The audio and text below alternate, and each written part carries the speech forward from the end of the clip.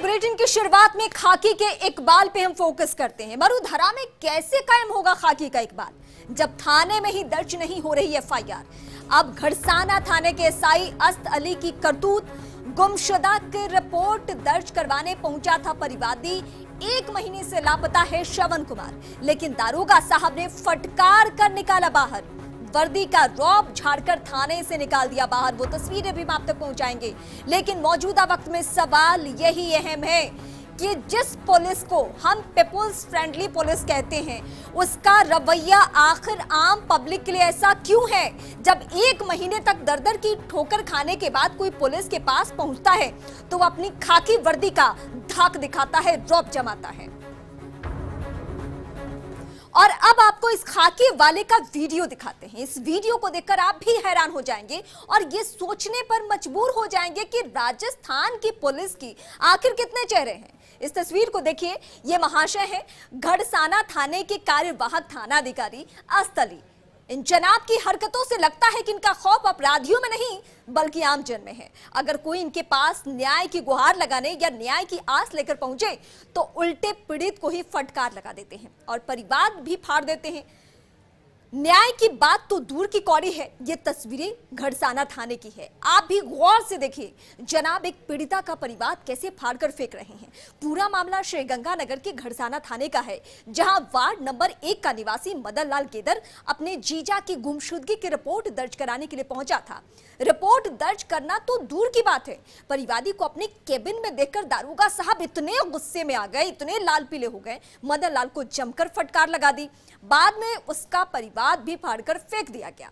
मदन लाल को थाने से बाहर जाने के लिए धमकाया। इसके बाद परिवादी सोमवार से घड़साना थाने के बाहर आमरण अनशन पर बैठ गया। लेकिन हैरान करने वाली बात तो यह है कि पुलिस के आला ऑफिसर्स तक इसकी जानकारी उन तक नहीं पहुँची है और ना ही किसी ने इस मामले की जानकारी लेने में कोई दिलचस्पी दिखाई। उधर दारोगा साहब इस वीडियो को ही गलत बताने में जुटे हुए हैं। अस्तली का कहना है कि मैं अपने बेकार कागज़ फाड़ रहा था। उन्होंने अपने पर लगे आरोपों को निराधार बताते हुए कहा कि साजिश के तहत मुझे फंसाया जा रहा है। लेकिन अगर ये वीडियो हम हमारे पास नहीं होता तो शायद आप भी यकीन नहीं करते कि इस तरीके से पुलिस हरकत कर सकती है।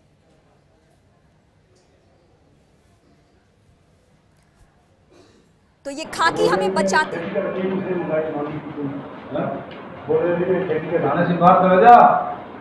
एसडीएम मैं कह रहा तेरे को एसडीएम साहब कोई बात को नहीं एसडीएम साहब ने भेजा था हम उसकी पालना कर देंगे तू थाने के बात चले जा। मेरे पास आएगा ही नहीं तू। अगर ये मेरे पास आ गया ना तो मैं तेरी शान खोलूँगा दबा जा।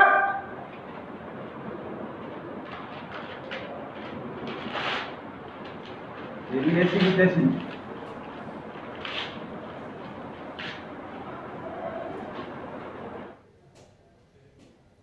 दफ़ा हो जा, ये पुलिस का लहजा है। जरा सुनिए आप इनको, एसआई साहब को सुनिए जरा, किस तरीके से ये फरमाते हुए नज़र आ रहे थे। और इस बीच मदन लाल खुद हमारे साथ मौजूद है, जिनके साथ ये सुलूक किया पुलिस ने। मदन लाल सबसे पहले तो उस वाक्य का ज़िक्र कीजिए। हालाँकि हम वीडियो दिखा रहे हैं, लेकिन वीडियो को गलत बताया जा रहा है। ये कहा जा रहा है कि ये साजिश है, लेकिन आपके साथ हुआ क्या? पुलिस का रवैया क्या था? ये जरा बताइए। जी मैडम मैं सबसे पहले चौबीस मई को मेरे जीजा जी गुमशुदा हुए थे। उसके बाद में हम लोगों ने अपने स्तर पर प्रयास किया उनतीस तारीख तक। जी। उनतीस तारीख को हम लोग परिवार के लोग और कुछ लोग साथ में लेकर के हम्म, एमपीआर अपनी दर्ज करवाने के लिए पुलिस थाना गढ़साना में जाते हैं। हम्म, उस वक्त डीओ ड्यूटी पे यही S I S Ali Khan होते हैं। हम्म, हम इनसे कहते हैं कि हमारी रिपोर्ट आप दर्ज करो। तो हमारे से सबसे पहले जो मेरे जीजा जी गुमशुदा हुए हैं उनके भाई से पानी भरवाया जाता है कूलर में। हम्म, कि पानी भरो आप कूलर में। उसके बाद में बात करेंगे। उसके बाद में हमें ये कह दिया जाता है कि आप दो दिन और ढूंढिए और आपके बाद में कोई रिपोर्ट दर्ज करेंगे। हम्म, मैं जब एक तारीख को दोबारा उन्हीं रिश्तेदारों के साथ में जब दोबारा जाता हूँ तो मुझसे पैसों की डिमांड की जाती है। हम्म। और मु- मुझसे कहा जाता है कि बहुत गंभीर आरोप है ये बहुत संजीदा आरोप है। क्या इसका कोई प्रूफ आपके पास है? क्योंकि वीडियो को भी नकारा जा रहा है। आपने कहा कि पैसे तक की डिमांड की गई है। ये पैसे लेन देन की जो बातें हुई उसका कोई प्रूफ आपके पास है? क्योंकि अगर आप इस मामले को आगे बढ़ाते हैं तो इन साहब को इस मामले में पुरजोर तरीके से सवाल इनसे पूछा जा सके इसको लेकर। जी मैडम इसका एसीबी में मुकदमा चल रहा है। हाँ, मैंने हाँ। इनको ट्रेप करवाने की कोशिश भी की थी लेकिन वो मामला किसी वजह से विफल हो गया। उसका मुकदमा जो है वो ज़ीरो सात की धारा में एसीबी बीकानेर श्रीमान रजनीश जी पूनिया और शिवरतन जी गोदारा जो डीवाईएसपी हैं उनके मार्गदर्शन में चल रहा है। उन्होंने यहाँ पर रेड डालने की भी कोशिश की थी लेकिन 10 तारीख को इन्होंने इनको भनक लगी और इन्होंने पैसे लेने से भी मना कर दिया था। ये ये जो आखिरी वक्त का वीडियो है ये जो लास्ट आपकी बातचीत है उस दौरान इनको किस बात पे इतना गुस्सा आया था कि उन्होंने कहा कि आप चले जाओ यहाँ से बाहर चले जाओ? आपके परिवार को हम मदन लाल आपका रुख करेंगे लेकिन अस्तली साहब खुद हमारे साथ जुड़ रहे हैं जिनके ऊपर ये आरोप है। सर सबसे पहले हम आपसे ये जानने की कोशिश करेंगे कि इस देश में पुलिस को पीपल्स फ्रेंडली कहा जाता है लेकिन आपका रवैया इतना सख्त किस बात को लेकर था? मैडम ये स्कैनिंग ये स्कैनिंग करके मेरी आवाज़ बनाई गई है। मेरा आपसे ये निवेदन है कि ये किसी की वो नहीं है और किसी दूसरे फरियादी को ऐसा मैं कह सकता हूँ बाकी मदन लाल को मैंने ये सब कहे ही नहीं। लेकिन सर आप ही दूसरे परिवार हाँ वो मदन लाल आप खुद आप खुद बातचीत कीजिए। आपके साथ अस्तली हैं। आप दोनों एक दूसरे की आवाज़ सुने मदन लाल प्लीज़ आप बात कीजिए। जी जी बिल्कुल मैडम। मेरे से बदतमीजी की गई है। दो मिनट। मेरे से बदतमीजी की गई है। उसका जो वीडियो प्रूफ है वो आप लोगों के पास में है। हाँ हाँ।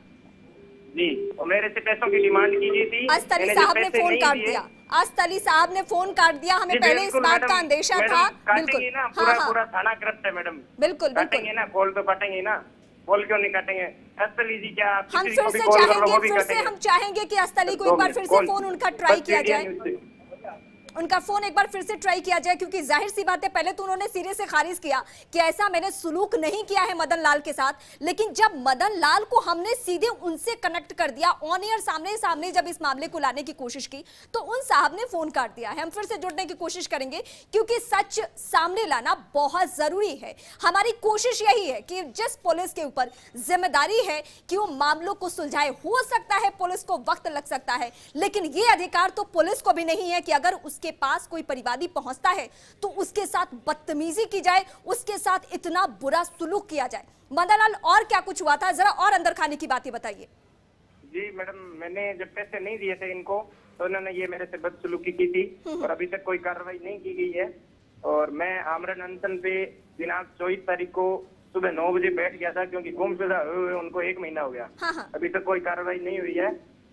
और ये बात है मैडम। मदनलाल इस बीच हम लगातार कोशिश कर रहे हैं कि एक बार फिर से एसआई साहब का फ़ोन लग जाए वो फिर से हमसे बात करें और हम अंदर की बातें निकालकर सामने लाएँ कि आखिर उनको किस बात का गुस्सा था। लेकिन हम आपसे ये जानने की कोशिश करेंगे इतना लंबा प्रोसेस चला। तकरीबन एक महीना हो चुका है है ना? लेकिन इस बीच क्या आपने किसी सीनियर ऑफिसर से भी संपर्क साधने की कोशिश की? लोकल के थाना अधिकारी को मैंने ज्ञापन दिया था। बीस तारीख को कि अगर तीन दिन में कोई कार्रवाई नहीं होती है तो मैं आमरण अनशन पे अपने परिवार से हाँ, भी हाँ।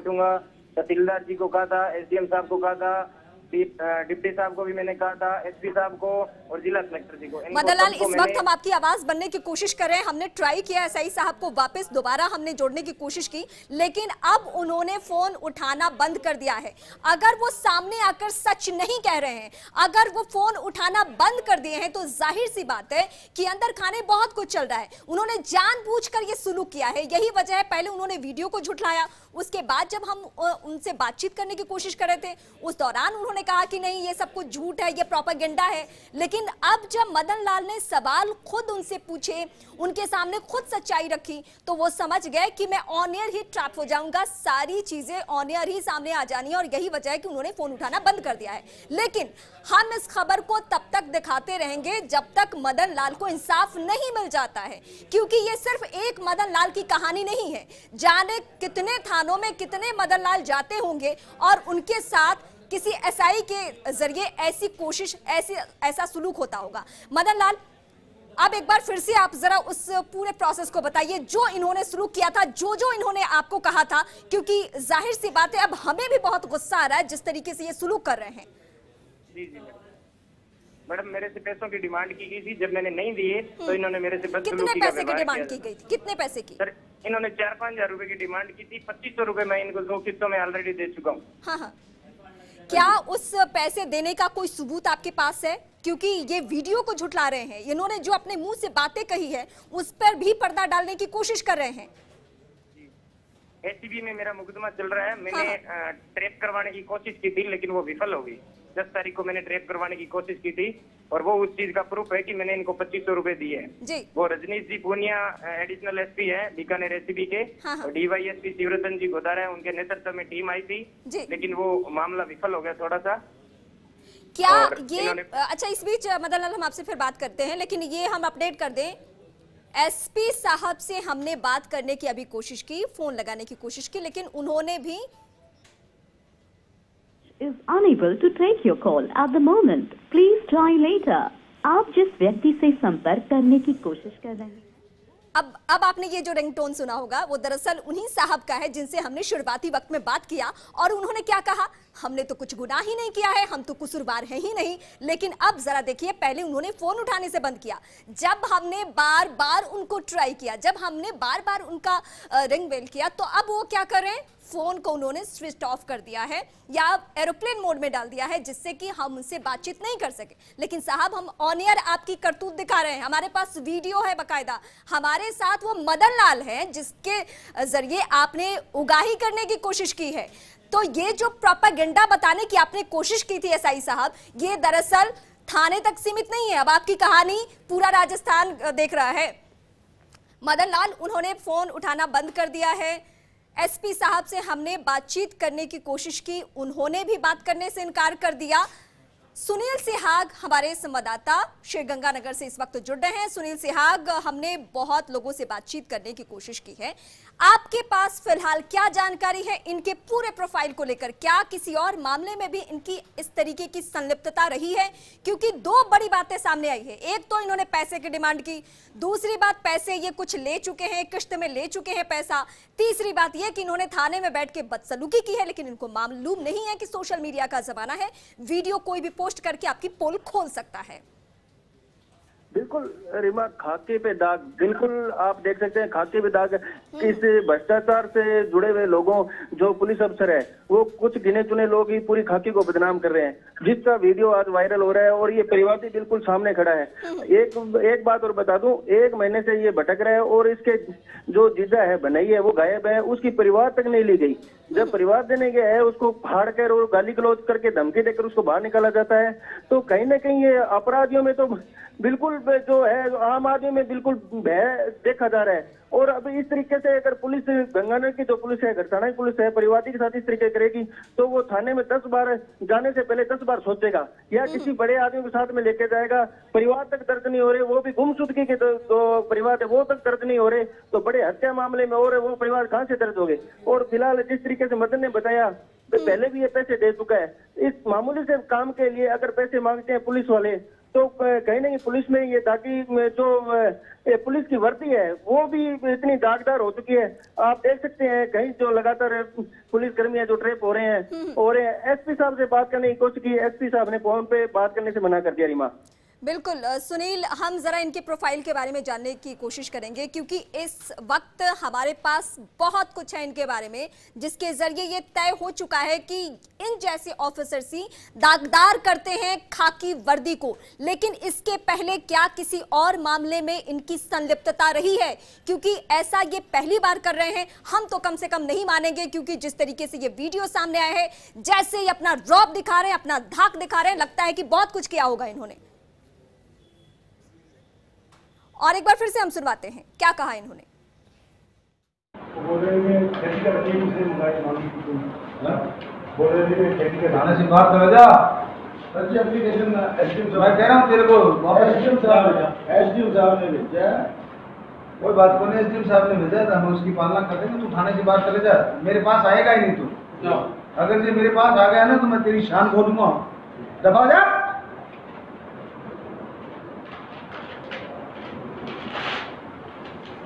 तैसी